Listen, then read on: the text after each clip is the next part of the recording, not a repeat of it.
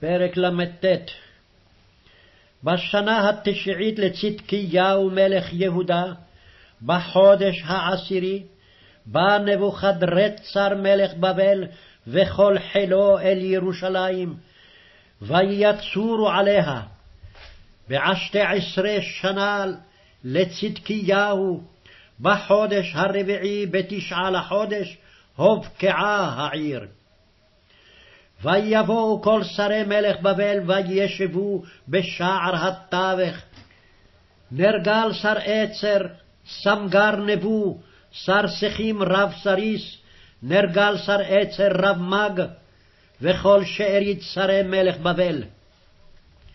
ויהי כאשר רעם צדקיהו מלך יהודה וכל אנשי המלחמה, ויברחו ויצאו לילה מן העיר, דרך גן המלך, בשער בין החומותיים, ויצא דרך הערבה.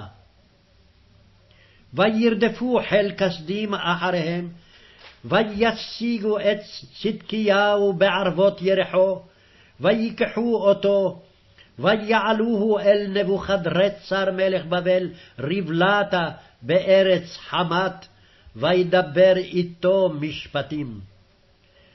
וישחט מלך בבל את בני צדקיהו ברבלה לעיניו, ואת כל חורי יהודה שחט מלך בבל.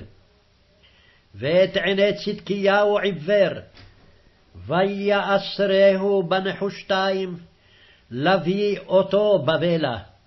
ואת בית המלך ואת בית העם שרפו הכסדים באש, ואת חומות ירושלים נתצו. ואת יתר העם הנשארים בעיר, ואת הנופלים אשר נפלו עליו, ואת יתר העם הנשארים, הגלה נבוזרעדן רב טבחים בבל. ומן העם הדלים אשר אין להם מאומה, השאיר נבוזרעדן רב טבחים בארץ יהודה, וייתן להם כרמים וגבים ביום ההוא. ויצב נבוכדרצר מלך בבל על ירמיהו, ביד נבוזרעדן רב טבחים לאמור. קחנו, ועיניך שים עליו, ואל תעש לו מאומה רע, כי כאשר ידבר אליך, כן עשה עמו.